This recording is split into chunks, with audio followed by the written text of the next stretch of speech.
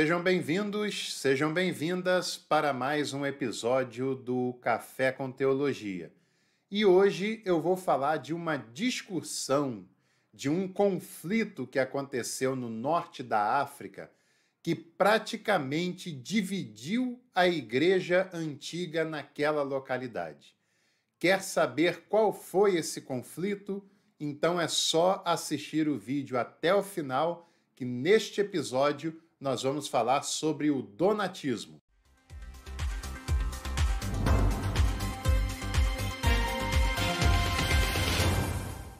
Você sabia também que agora nós temos uma nova opção para o clube de membros?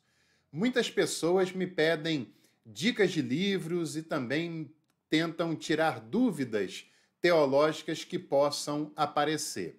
Agora você tem à sua disposição aqui no canal a curadoria teológica.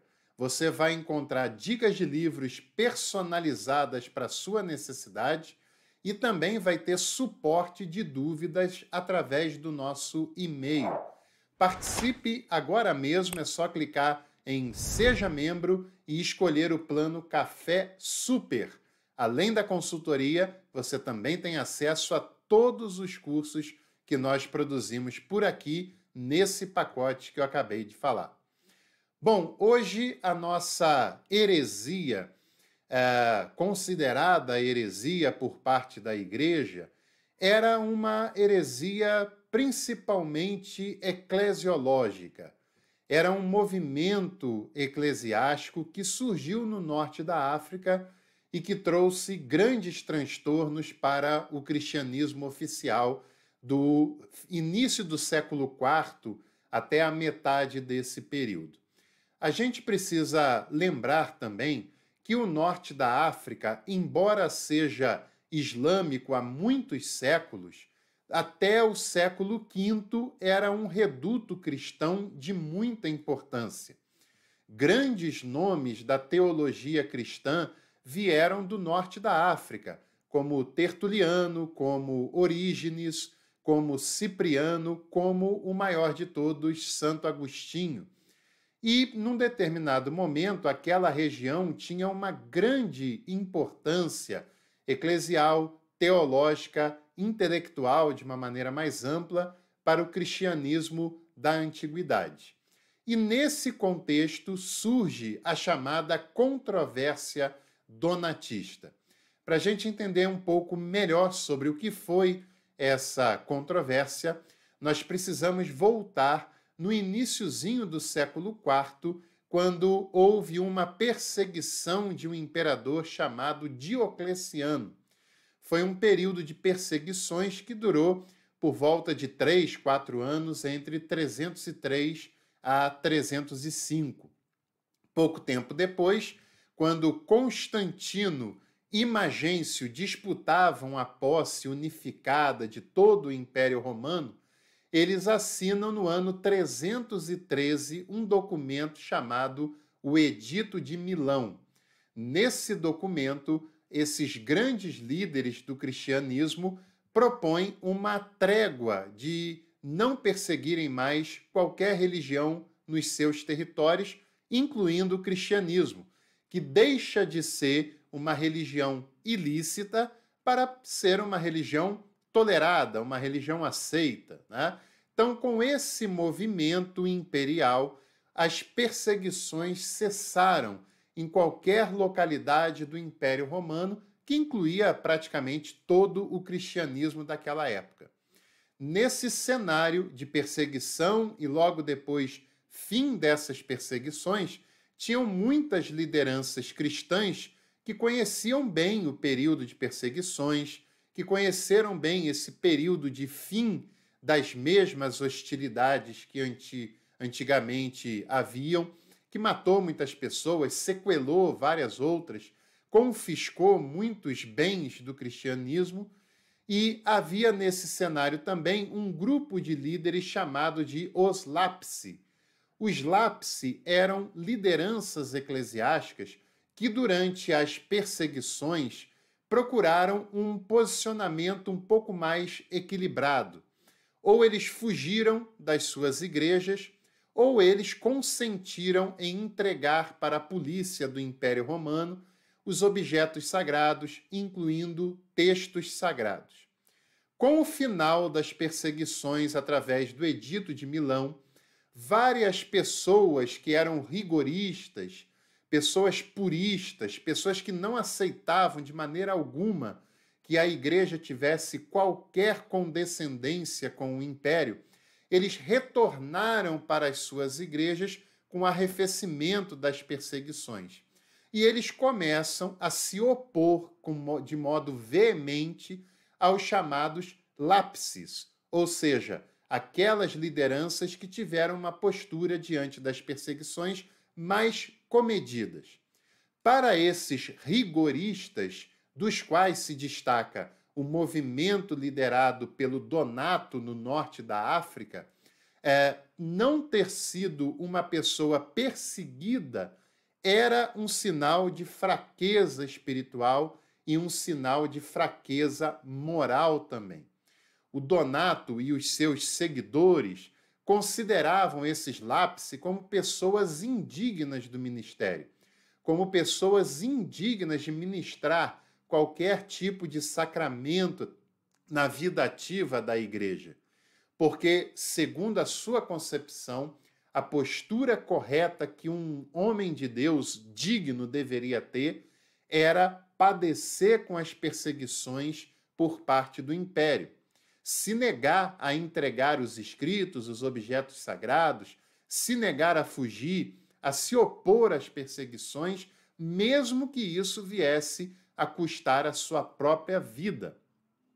Os donatistas começam a, a fazer um movimento que questionava uma eleição episcopal que tinha acontecido no norte da África. O bispo eleito foi um homem chamado Ceciliano.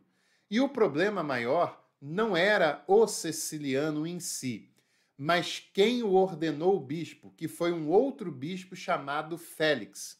E Félix era um dos lápice, um, uma das pessoas que, durante as perseguições por parte do Diocleciano, tinha consentido em entregar à polícia imperial objetos considerados sagrados, parte da liturgia e da fé do cristianismo daquele momento. E os donatistas entendem que o Félix, além de ser uma pessoa indigna, todos os sacramentos que ele ministrava como uma pessoa indigna também eram sacramentos absolutamente inválidos. E como foi ele quem ministrou o sacramento da ordenança sobre o bispo Ceciliano, essa ordenação não era lícita, não era válida. E Ceciliano, por conta da indignidade de Félix, também teria herdado a sua indignidade e não poderia exercer o seu episcopado. Isso gera uma celeuma enorme naquela região toda. Muitas pessoas aderem à causa levantada pelo Donato e concordam com ele. A igreja oficial e várias outras pessoas estão do lado oposto e enxergam Donato e o seu movimento como um movimento cismático que deveria ser silenciado em prol da verdadeira igreja e da sua unidade. Essa celeuma é tão radical que uh, tem até a própria intervenção do imperador Constantino para tentar resolvê-la. Mas o grupo liderado pelo Donato está irredutível. E quando eles percebem que a sua causa não será abraçada pelo restante da igreja, eles resolvem eleger o seu próprio bispo. O bispo que seria uma pessoa digna, segundo a sua concepção, e que os representaria. E a escolha foi para um homem chamado Majorino, que logo depois uh, uh, vem a falecer, e o próprio Donato é eleito como seu sucessor e como bispo daquele movimento. Para você ter uma ideia, um pouquinho depois, um outro documento chamado Edito de Tolerância, do ano 321, impediu que o movimento donatista fosse perseguido pela igreja oficial. que você sabe, né? A igreja oficial, seja no passado ou no presente, sempre gostou de uma perseguição para quem era diferente, às vezes até por bem menos do que o que Donato fez, né? Mas uh, esse edito de tolerância possibilitou o crescimento e a expansão do donatismo. Para você ter uma ideia, no ano 330, o donatismo foi capaz de conquistar a igreja mais importante que havia no norte da África, que era a igreja de Sirdra. E seis anos depois, apenas seis anos depois, o donatismo já contava com a possibilidade de organizar um sínodo na, na cidade de Cartago, uma das principais cidades do norte da África, juntamente com Alexandria. E, pasmem, o donatismo já tinha em 336 270 bispos ordenados. Esse sim era um movimento eclesiológico de alto impacto, um movimento eclesiológico muito abrangente, porque não era nada fácil para esse movimento conseguir 270 bispos, não só adeptos, mas bispos, só na região do norte da África. Isso nos dá uma noção de como esse movimento se expande naquela localidade. Algumas bandeiras que esse movimento defendia era a ideia que o Donato e os seus seguidores percebiam que a igreja era uma sociedade feita para pessoas puras e para pessoas justas, e que era uma exigência para os membros dessa igreja que fossem pessoas com alto padrão moral e com um alto padrão de santidade.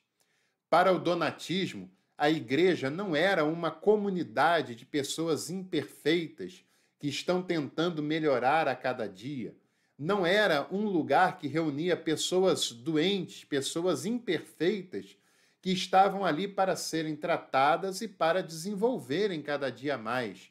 Mas para o movimento donatista, a igreja era uma sociedade de pessoas santas, com alto rigor moral. E nessa igreja não era permitido qualquer tipo de relativização de caráter, e o seu rigor era altíssimo. Tanto é que esse movimento começa a valorizar o martírio. Sim, não é o único movimento que valoriza na antiguidade o martírio. Vários líderes da igreja oficial também valorizam essa postura. E para o donatismo, a questão do martírio era um alvo a ser buscado. Quem é martirizado é martirizado porque é santo e porque esse mundo mal não consegue lidar com essa santidade. E uma pessoa verdadeiramente santa, uma pessoa verdadeiramente digna, é aquela que será morta por causa dessa santidade. Então, isso era muito valorizado, como também era muito valorizado pelo donatismo uma sólida tradição episcopal. A igreja repousa nos bispos, que também era um conceito de São Cipriano, também um dos grandes nomes da igreja do norte da África. E esse movimento também enxerga a igreja como uma continuadora do servo sofredor. O servo sofredor, que era o povo de Israel no Antigo Testamento, que a igreja vai enxergar como sendo Jesus, e a partir da ascensão de Jesus, o donatismo enxerga que a igreja é a sucessora desse servo sofredor. A igreja está na terra para sofrer e por isso as pessoas têm que estar dispostas a terem o mais alto padrão moral, a mais alta santidade e estarem dispostas a serem martirizadas. Basicamente, esse é o pensamento do donatismo que continuou crescendo e cresceu mesmo após o exílio de Donato, que acontece no ano de 347 um novo bispo é escolhido para suceder o Donato, que foi um homem chamado Parmeniano, e esse homem conseguiu ter uma forte liderança e uma forte organização do movimento donatista que não se dissolve e consegue até continuar crescendo mesmo depois que o Donato saiu de cena. No ano 411, os bispos donatistas já chegavam ao número recorde de 285, um a menos apenas do que os bispos do cristianismo oficial na região do norte da África. Veja como essa esse movimento foi impactante e traria certamente ainda mais transtornos e oposições para o cristianismo oficial daquela época. E esse movimento só é freado porque o norte da África começa a sofrer várias invasões de outros povos. Em primeiro lugar, foram os vândalos e também os bizantinos, que foram é, é, se apropriando daquela localidade e tornando a vida do cristianismo em geral, tanto oficial quanto donatismo, naquela região, uma situação muito difícil de ser mantida. Né? E para piorar a situação desse movimento, no século VII houve a expansão do islamismo, surgimento e a expansão do islamismo, que eu já falei inclusive num dos episódios da história do cristianismo. Depois assiste lá para você perceber. E aí é claro que qualquer possibilidade do cristianismo se manter no norte da África foi praticamente eliminada.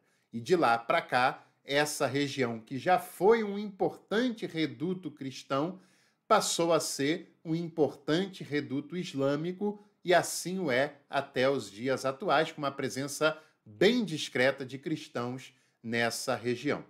Se você gostou do movimento donatista ou do vídeo falando sobre o movimento donatista, não se esqueça de deixar a sua curtida clicando aqui embaixo.